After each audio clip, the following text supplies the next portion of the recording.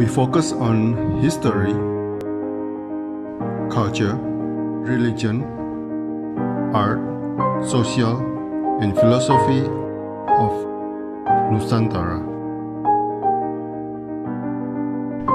Here, in the presence of Nusantara, we were made to be forgotten about the goodness of our- ourselves. Because negativity seems to be more interesting for us. Now, I'm Sutoyo Raharto and friends assist you to remind you, to awaken you that we still can find the gems of Nusantara. They are the great sites of Nusantara.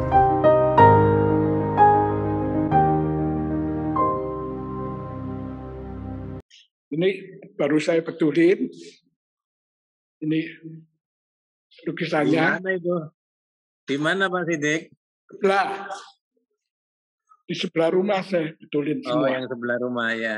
Nah, ini. Sekarang sudah saya kasih lihat semua. Nah ini saya kasih lihat dulu dari saya nih. Kelihatan lukisannya, Sangat jelas, Pak, sangat jelas. sangat jelas ya.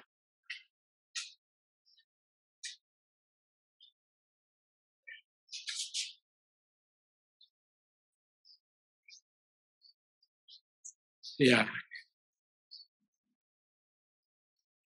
Ini ini lukisan saya semua. Ya, Saya kasih lihat semua ya. Dulu pertama waktunya nggak anu dah terserah. Oh, santai, Pak, santai. Dua tiga jam bisa saya. Enggak.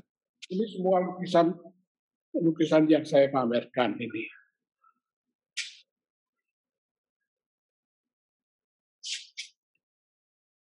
Kelihatan jelas, Pak. Kelihatan jelas ya. Dulu semua. Uh, ini kena kena. Wah, ini ini cantik banget ini. Iya. Kemarin Iya. Amazing. promo ya. Hmm.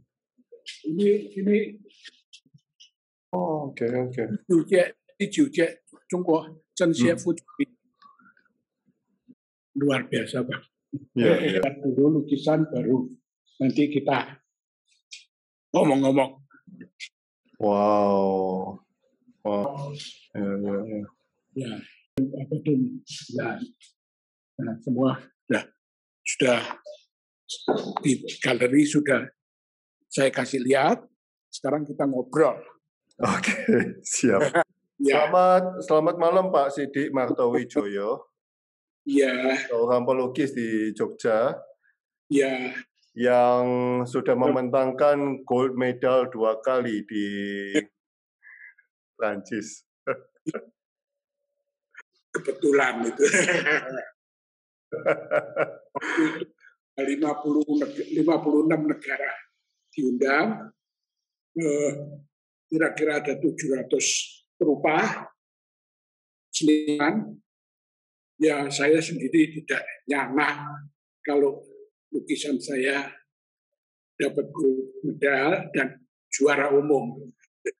Pit mabuk Pak atau kuas atau kuas mabuk Pak. Nah, itu begini ceritanya.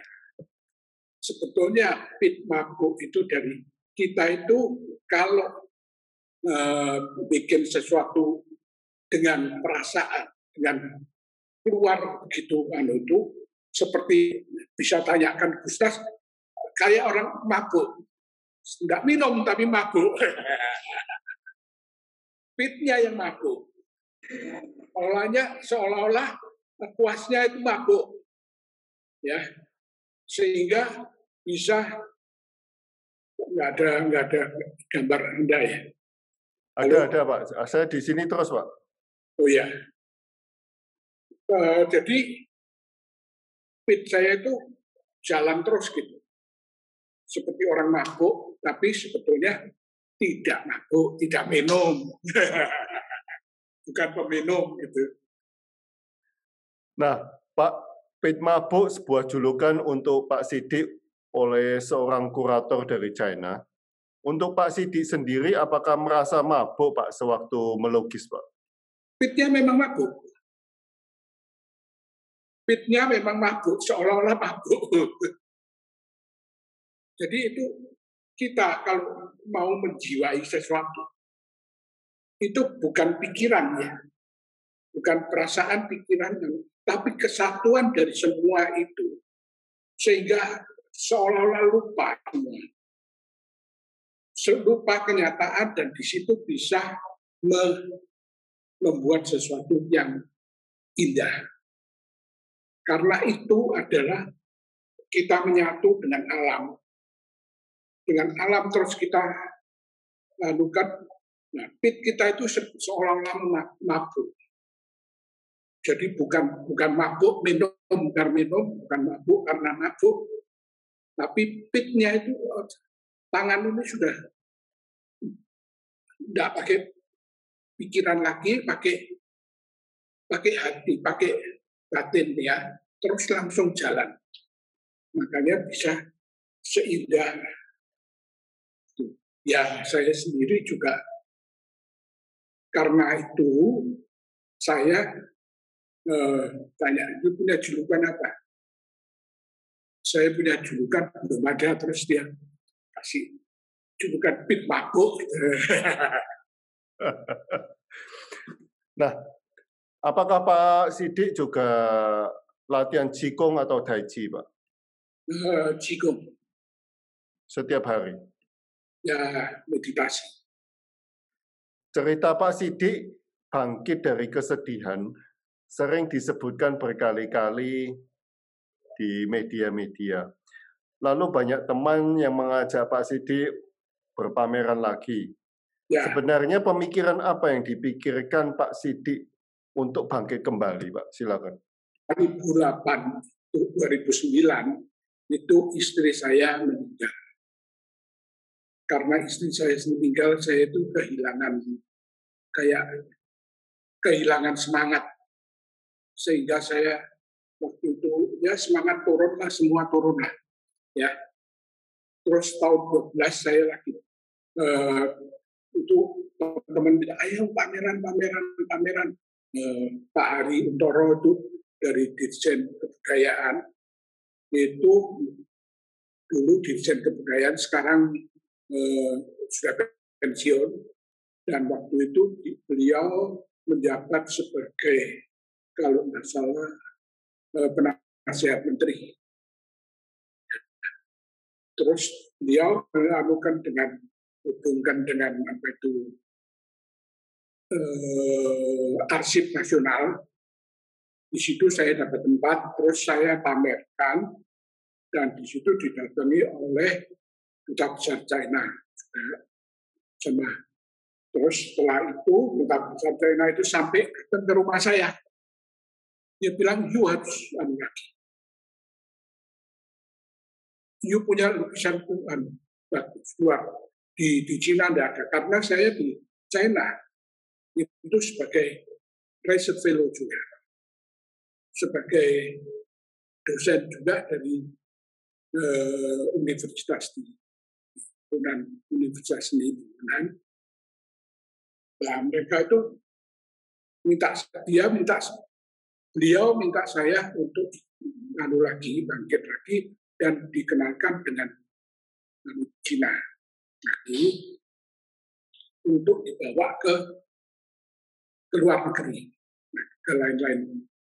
Nah, di situ saya dibawa ke Prancis, Louvre. Di Louvre saya ya saya di sini sih ya saya bangkit lagi. Wah ya semangat ada lagi dong. karena beliau datang ke rumah ngajak jalan-jalan.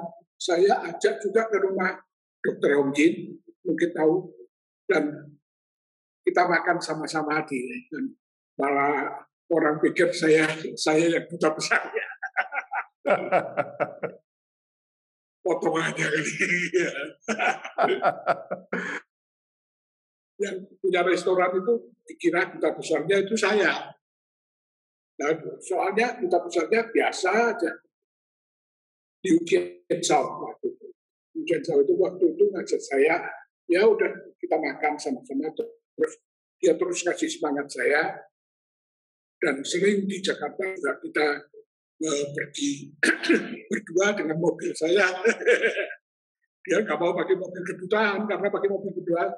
Mesti pakai bendera mesti di wah diikutin orang nanti.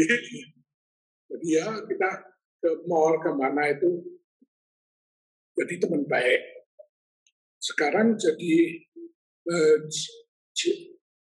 uh, dirjen dari uh, Oke, okay, oke. Okay. Uh, dirjen itu setelah itu saya itu naik semangat lagi, saya saya melukis lagi dan sebetulnya saya tidak ada dukungan. Dukungan saya sendiri, keuangan juga begitu, dukungan sendiri. waktu sampai waktu mau pameran eh, itu saya harus ini biaya-biaya di Prancis itu kan bukan bukan dikit ya. Ngangkut lukisan apa itu semua itu juga memerlukan biaya.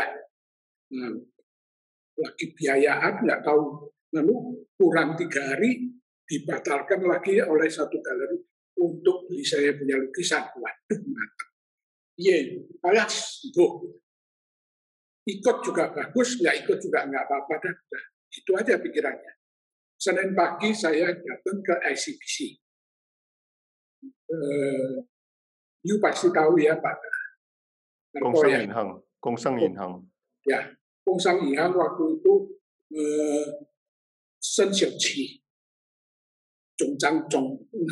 Saya bawa adik saya ke sana, saya kenalkan dengan Xiaoqi. Jadi saya jangan bicara itu dah kita bicara, saya suka you punya lukisan, gitu ya. You mau pamer, mau anu, apa, perlu apa? Saya mau pameran gini-gini. Ya, harus berapa hari lagi, kapan dibayar? Lusa juga harus bayar. Nah, saya sekarang masih nggak punya uang. Saya bayarin. Ungsang Inyang itu Sen langsung kasih apa itu kirim ke Prancis dan dia dukung saya terus sampai di sana pameran bisa pameran dan pameran itu ya semua itu kalau nggak pakai biaya nggak mungkin ya semua itu tapi bukan biaya untuk sogokan bukan untuk suap. Ini biaya betul-betul dikeluarkan ya masing-masing berbiaya sendiri. Kita juga lalu apa itu itu kalau bisa masuk masuk sendiri. Sampai ke Louvre sudah mau pameran kurang dua hari apa kurang itu lagi. Itu saya bicara sama duta besar sana mau nggak ya apa itu bisa nggak saya dimasukkan saya coba tanya Louvre sama tanya ke Cina China kasih saya untuk mewakili Indonesia juga atau boleh atau tidak. Dia bilang asal pakai nama Mayungja. You dari Indonesia, orang Indonesia, nggak apa-apa. Namanya tetap Mayungja. Ya oke, okay. saya bilang. Terus sudah besar juga. Oke, okay. makanya duta besar Indonesia yang pidato mengikuti bahwa ini Indonesia ikut satu orang namanya Sidik ini Mayujang. Nah, terus pameran waktu pameran itu ya semua itu nggak tahu nggak tahu siapa yang kan waktu itu ada 12 eh, apa itu? Eh, juri. 12 juri datang tanya tanya tanya tanya tanya dan saya cerita kebetulan dari kedutaan. Ada kirim penerjemah. Saya dengan bahasa Indonesia bisa diterjemahkan ke bahasa Prancis Eh, anak itu anak Indonesia tapi mamanya orang Prancis. Jadi dia mengerti Indonesia dengan benar dan juga mengerti Prancisnya dengan benar. Saya ceritakan semua, kok tambah lama tambah banyak yang datang. Dewan jurinya itu saya nggak tahu kalau itu dewan juri. Cuman wah terus ya dengerin semua. Habis itu dia tiap kali itu dia tanyain semua, dia ajak ngomong semua. Nah, setelah itu beberapa dua hari kemudian diumumkan bahwa Eh, sebelum mengumumkan dia tanya dulu ini mewakili saya kasih ini orang sama perwakilan Cina. Boleh kalau Cina terima enggak? Gitu. Nggak apa-apa itu kita punya orang kok. Udah. Ya udah jadi saya mendapatkan apa itu press itu. Full press the or Pak Sidi, kalau itu kan kejadian beberapa tahun yang lalu, Pak. Ya, Pak, Pak pernah nggak pernah nggak Pak mengingat-ingat atau merenungkan mengapa kok bisa menang, Pak? Uh, saya tidak tahu ya. Saya menang uh, mestinya karena saya bisa menjelaskan semua apa yang saya lukis dan pelukis itu tidak bisa menurut saya.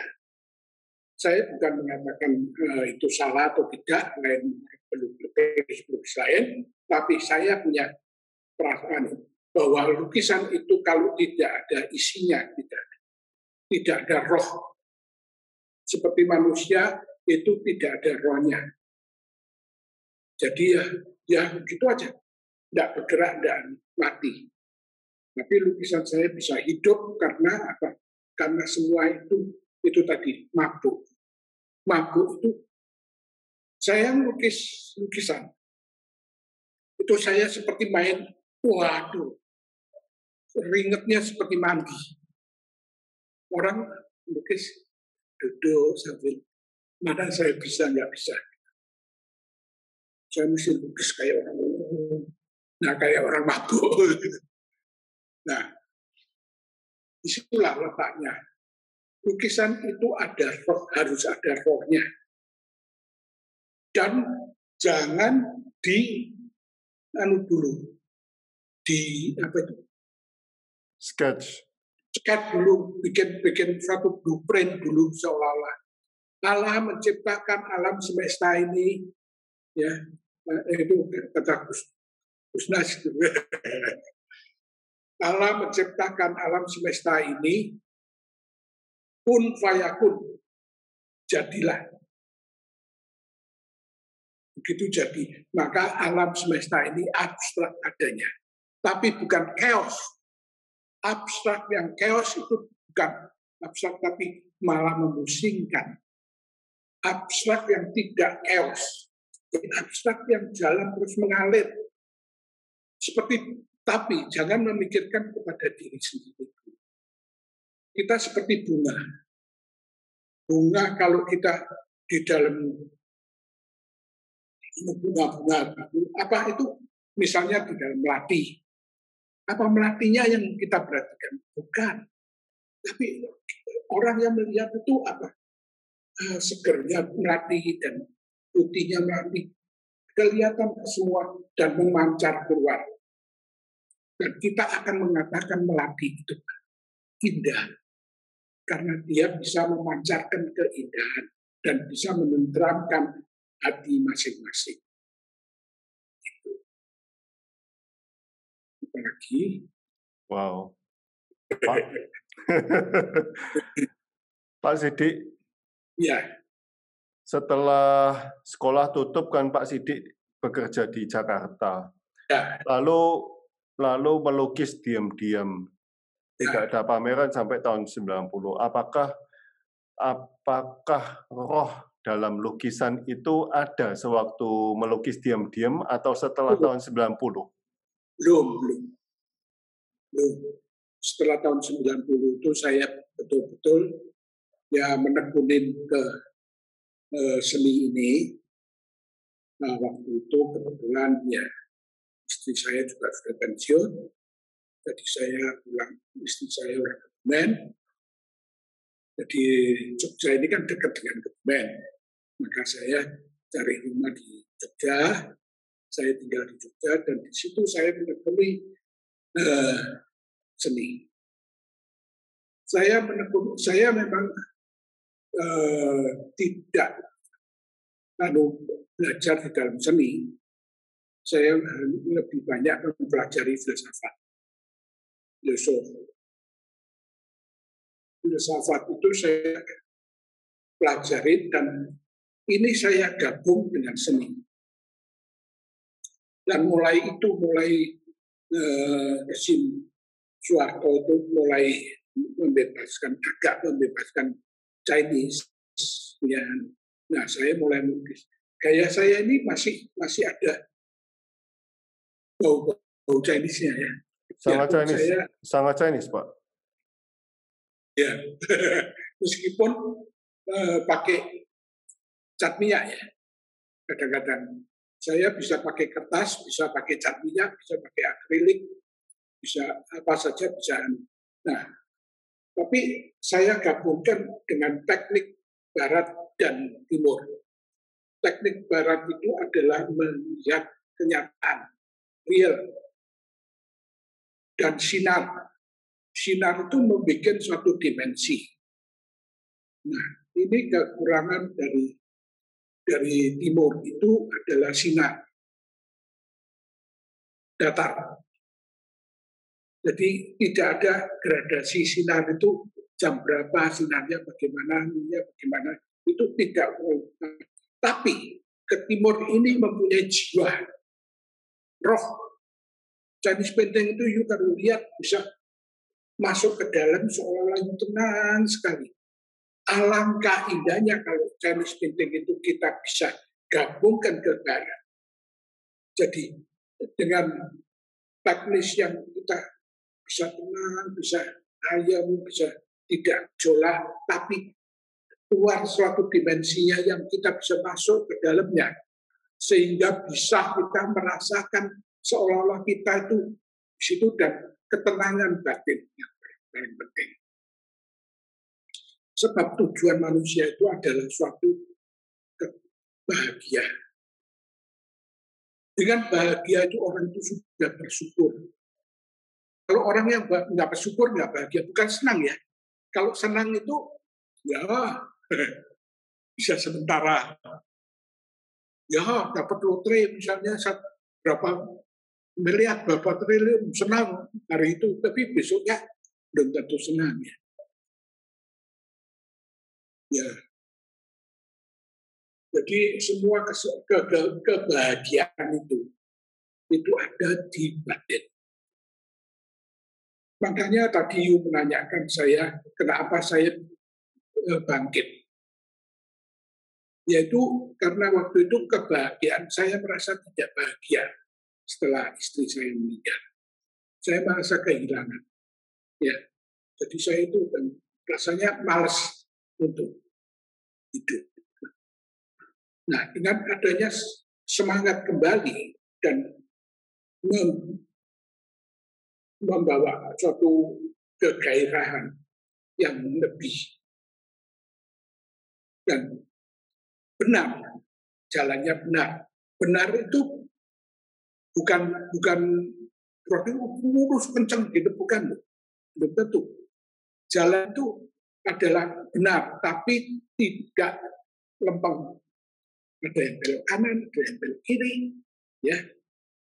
Semua itu jadi kebenaran itu adalah sesuatu yang paling penting. Nah, di situ kita melihat terang bahwa kita itu bagaimana kita menuju ke terang dan menerangi. Jangan pakai reflektor untuk kita. Matahari itu menyinarkan seluruh tidak seluruh alam, tapi tidak meledak karena apa?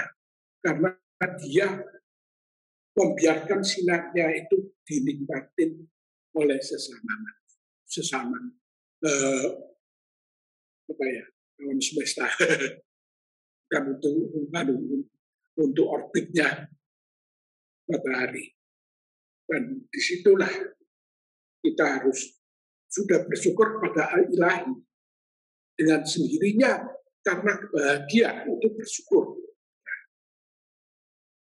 Dan menjalankan perintah-perintah ilahi bukan bukan karena terpaksa karena atau karena uh, wah ini pahalanya besar saya berbuat amal enggak kita mengeluarkan sinar yang mengeluarkan sinar itu siapa?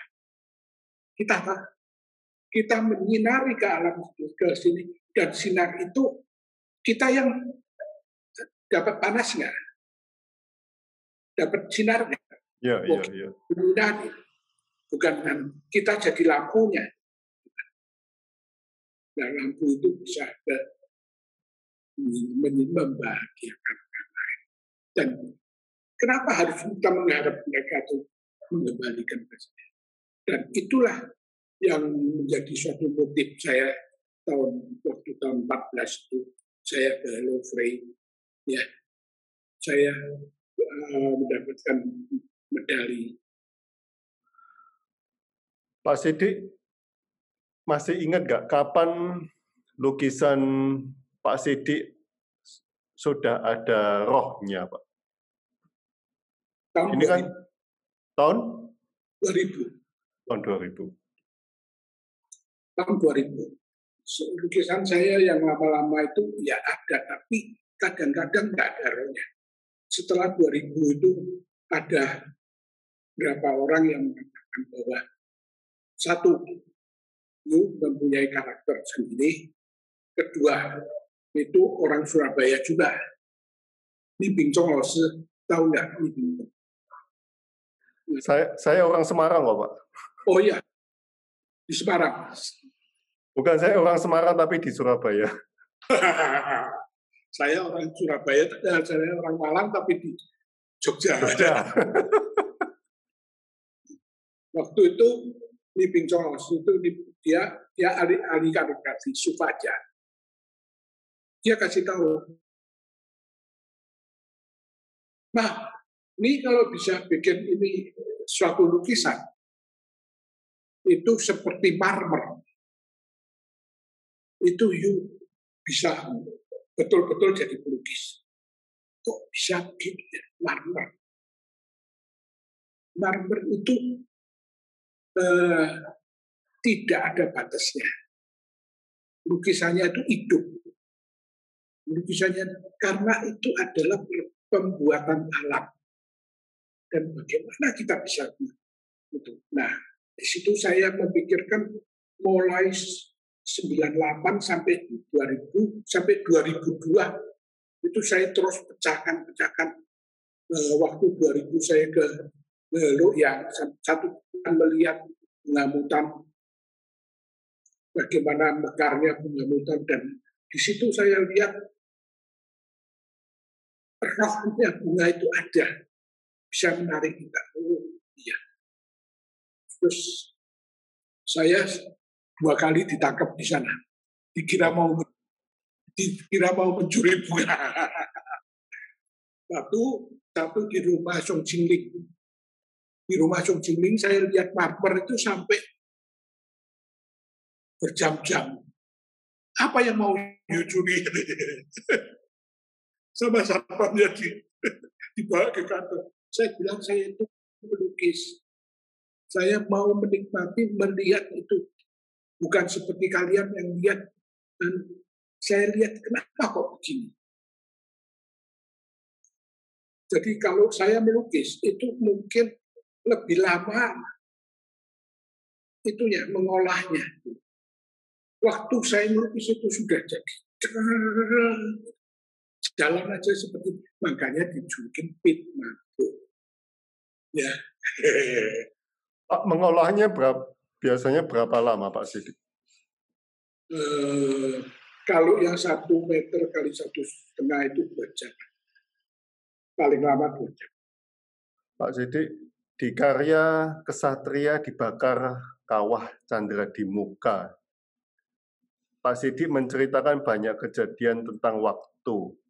Oleh sebab itu Pak Sidik suka mengkoleksi jam. Ya.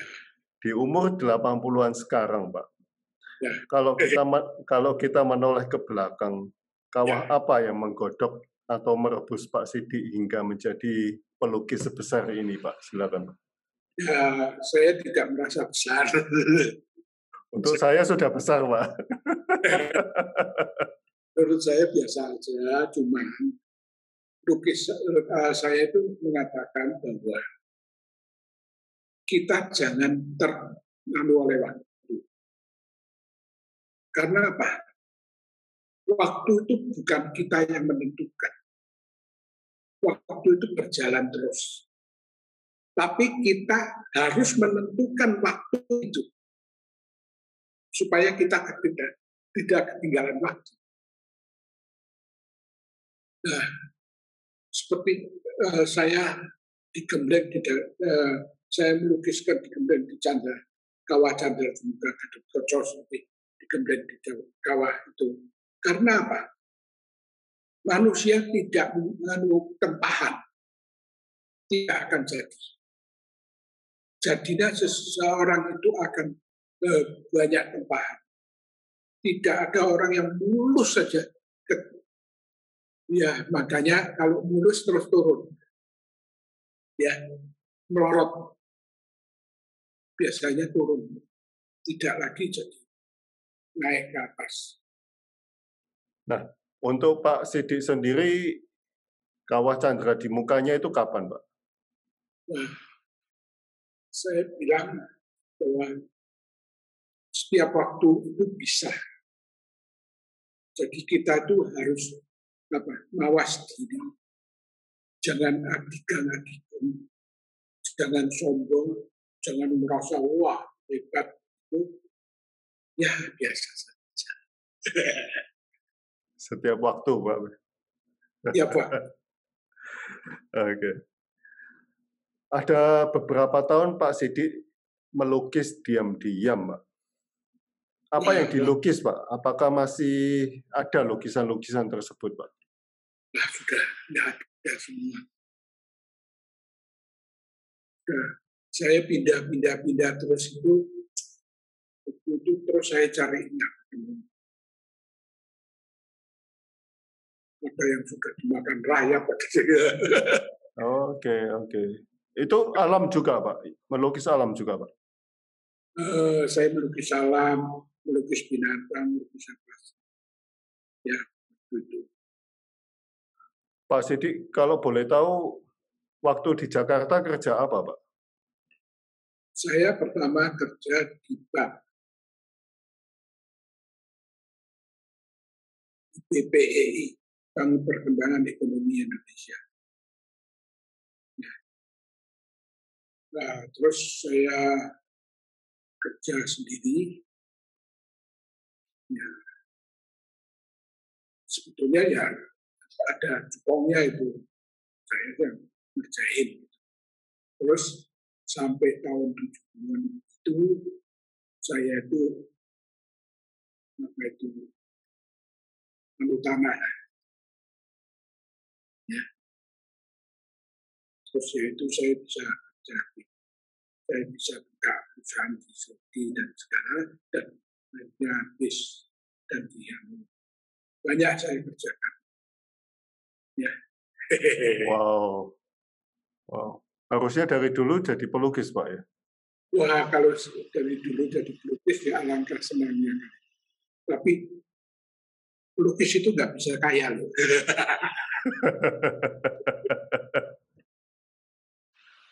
tapi mending jadi pelukis atau pegawai bank pak enak jadi pelukis senang kalau duitnya enak pegawai bank duit bu ya tapi duit itu nggak kebahagiaan tentu ada. Memang tidak bahagia kalau orang yang tidak punya duit. Dong, biayaan loh. Mau biaya biayaan loh. Gitu. Sebagai seorang seniman, apa yang ada di pikiran sewaktu dilarang melukis Pak pada waktu itu? Apakah hanya bisa berharap atau apa? Tahun 65 waktu ditutup ya, semua Pak. Saya mengharap dan saya mulai jadi lalu lagi itu malah saya itu pikir ah saya asal bisa melukis saja. Hmm. Nggak usah terkenal, nggak apa-apa. Tapi dengan dorongan teman-teman ini saya jadi tentu pelajari mau belajar. Mau belajar. Ya. Semua itu mau belajar dan mau menguraikan. Ya kalau kita tidak pelajarin semua misalnya oh lukisan Picasso kenapa orang bisa senang? Kenapa? Karena ini karena ini. Terus lukisan barat itu kenapa? Ya. Orang itu bisa begitu? Nah lukisan Chinese kenapa juga lukisan timur ini eh, Chinese painting itu orang lebih? Karena Chinese painting itu membawa ketenangan terus lukisan bawah barat itu membawa ke kenyataan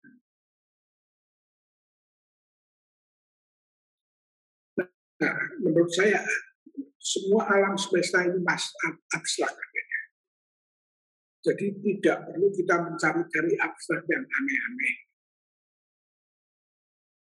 Oh, sudah sudah jadi contoh Tiap hari kita lihat karena tiap hari kita lihat jadi bukan abstrak lagi.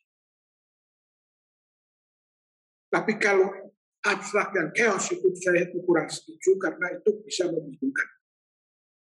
Kita itu mencari kedamaian, mencari kesejahteraan, mencari kebahagiaan, bukan mencari kekacauan. Bukan mencari tabrak, dua, demo. Kalau ada demo tiap hari itu malah pusing enggak, Bapak? Pusing, Pak.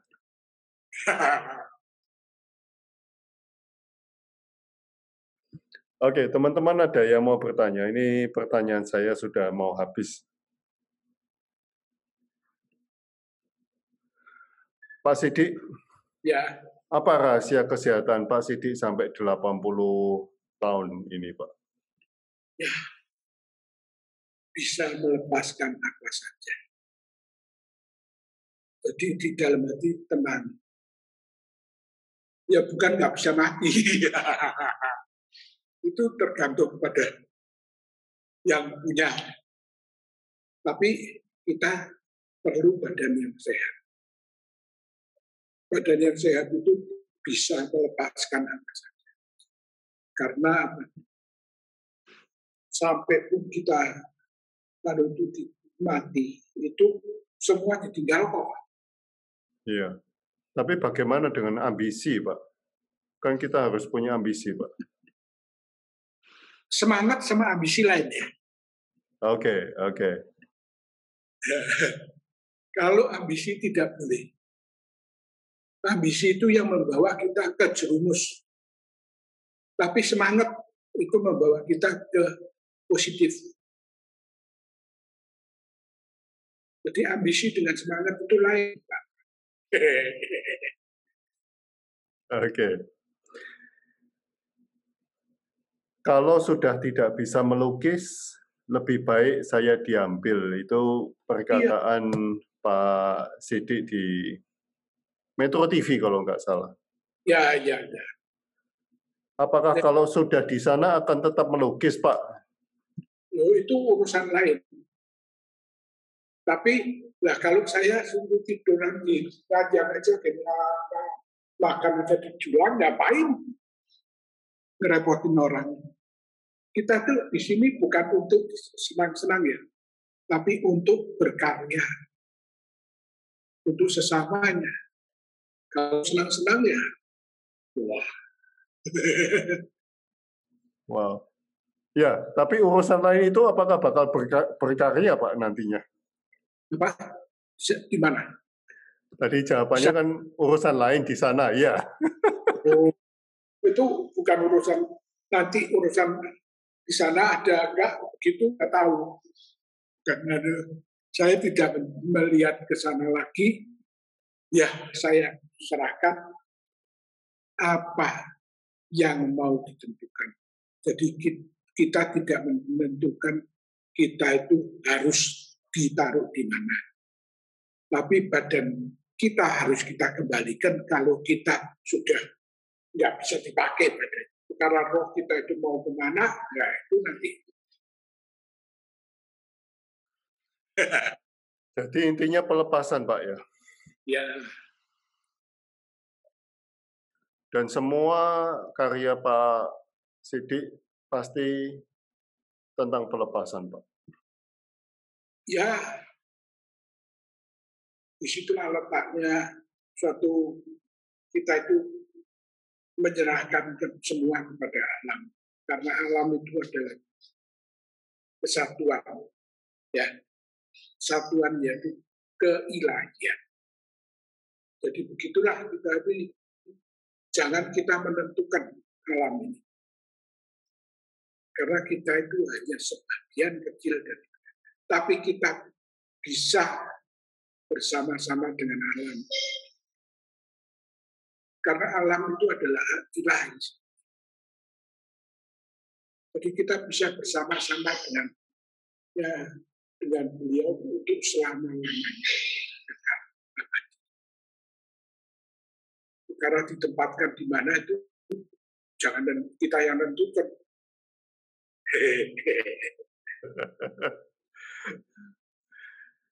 Terima kasih Pak Sidi atas wejangannya ini. Oh enggak, ini bukan tukar pikiran. Wow, luar biasa Pak. Saya bukan orang luar biasa. Kembali ke alam, pelepasan, pasrah Pak. Ya. Ya. Kembali ke ilahi. Terima kasih Pak Sidi atas waktunya. Kita Hmm. harus ketemu di Jogja Pak. Ya boleh. Terima kasih atas waktunya. Terima kasih atas waktunya teman-teman.